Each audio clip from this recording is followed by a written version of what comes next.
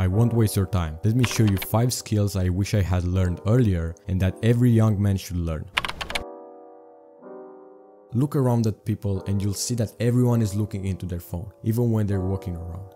Nowadays, being mindful is one of the most valuable skills you can learn and will help you be present, make better decisions, and do so many good things. So how do you learn to be mindful? The simple answer is meditation. Step 1. Download the app called Medito. Step 2. Open the app and go to daily meditation. Step 3. Start at 3 minutes and in time build up to 10 to 20 minutes. Do this every day and you'll build that solid skill. This is a good skill set that any young man should learn. It may seem hard, and it is, but do not think about this. Just start. You're young, you're strong, you have unlimited power and energy. Don't be a coward. If you haven't started yet, promise the tribe in the comment section that you will start today no matter what. By the way, if you're not seeing progress in your fitness journey, let me help you for free with a video coaching call to clear everything up for you. The free calls are only for the first three who comment I need coaching.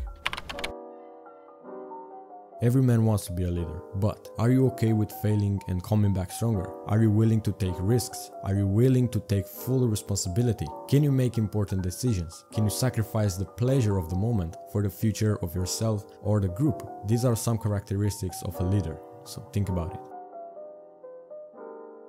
Communication serves multiple purposes, including sharing information, expressing opinions, building relationships, coordinating activities, resolving conflicts, and influencing others.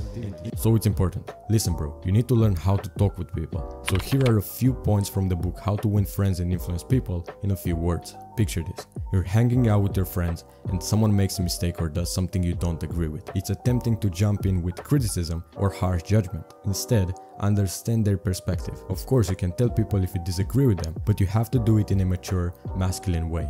Try honestly to see things from the other person's point of view. You're having a conversation with a friend and you both have different opinions. It's easy to defend your perspective. By generally trying to understand where the other person is coming from, you can build stronger connections and resolve conflicts. It's a skill that can greatly enhance our relationships and help us become more influential in our interactions.